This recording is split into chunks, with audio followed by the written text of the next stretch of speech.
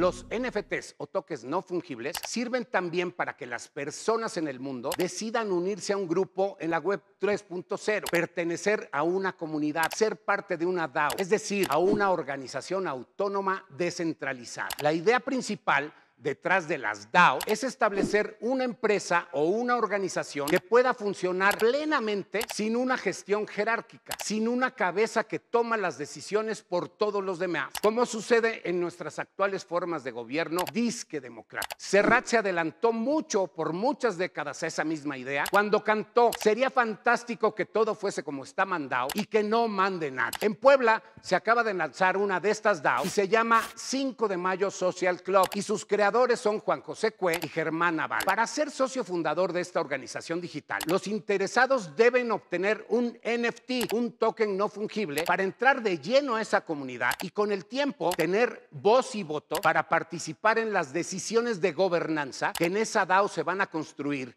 y se van a debatir. Cada DAO diseña reglas claras que serán validadas por todos los integrantes de cada comunidad. Para acabar pronto, esas DAOs buscarán en el futuro que las personas que participan en la web 3.0 influyan en las decisiones que a todos nos importan para mejorar el mundo y gobernarse solos, sin partido y sin políticos, con el voto de las personas que quieren mejorar todas las formas autoritarias de gobierno que actualmente sufrimos todos. Esto no es un sueño, es una realidad que pronto buscará tener control democrático de decisiones fundamentales para todos. ¿Te hace sentido?